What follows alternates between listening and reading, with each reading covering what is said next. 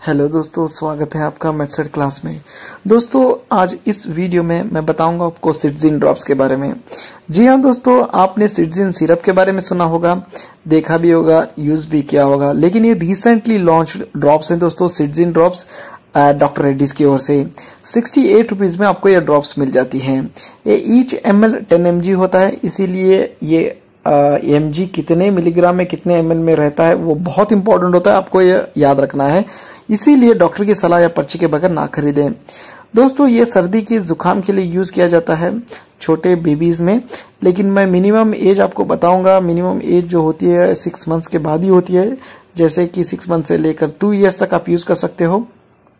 याद रखिए, ये जो सिर्जिन ड्रॉप्स जो होते हैं, ये सर्दी, जुकाम के सिक्रीशन जो होते हैं, वो कम कर देते हैं। माइल्ड खांसी जो होती है, वो भी कम हो जाती है। लेकिन इसका जब काम इतना है तो साइड इफेक्ट्स भी होते हैं। साइड इफेक्ट्स इसके ये हैं कि इससे बच्चा, बच्चे को नींद आने लगती है और एक्टिव नहीं रहता है।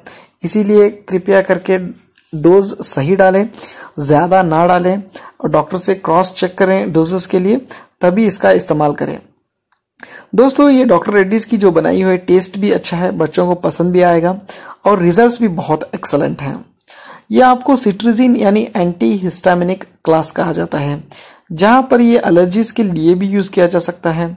आपके रैशेस एलर्जिक रैश जो होते हैं, जैसे कि आपको डस्ट एलर्जी होने की वजह से या किसी कारण की वजह से रैशेस जो होते हैं, उसके लिए भी बहुत कॉमनली यूज़ किया जाता है। दोस्तों याद रखिए ये दिन में तीन टाइम दिया जाता दिन में एक टाइम दिया जाता है सॉरी दिन में सिर्फ़ एक ही टाइम दिया जाता है तीन टाइम नहीं दिया जाता है। याद रखिए वो भी रात में दिया जाता है ताकि बच्चा आ, सो सके और सर्दी जुकाम भी कम हो सके। इसको तीन टाइम नहीं दिया जाता है याद रखना चाहिए।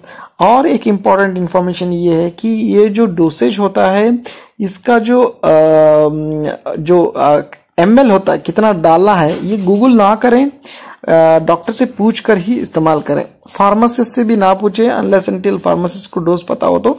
लेकिन इंडिया में जो होता है, वो डॉक्टर से पूछ कर ही लिया जाता है। ओके तो चलिए दोस्तों thank you so much subscribe कीजिए।